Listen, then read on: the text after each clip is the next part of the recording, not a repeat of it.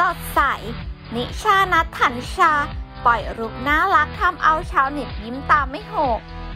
เป็นอีกหนึ่งนักแสดงนอกจากงานแสดงจะลุ่งแล้ว ด้านความรักก็ปังไม่แพ้กันเลยทีเดียวค่ะ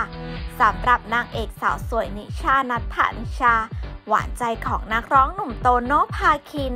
ถ้าเข้าไปส่องในไอจีจะเห็นว่าพักหลังๆ เจ้าตัวออกมาปล่อยซีนความเซ็กซี่บ่อยขึ้น แต่ก็ยังไม่ทิ้ง concept ความน่ารักสดใส ล่าสุดทำเอาหนุ่มยิ้มไม่หุบกันเลยทีเดียวจ้ะ เมื่อสาวณิชาออกมาปล่อยรูปสดใสน่ารัก แจกรอยยิ้มอันพราวเสน่ห์ยืน pose ท่าชูสองนิ้วกลางแสงแดดทำให้ผิวขาวออร่ากระแทกตาสุดๆบอกได้คำเดียวเลยว่า น่ารักสุดๆเลยค่ะแหม่แหม่แหม่ไม่แปลกใจเลยว่าทำไมหนุ่มโตโน่ถึงหลงรัก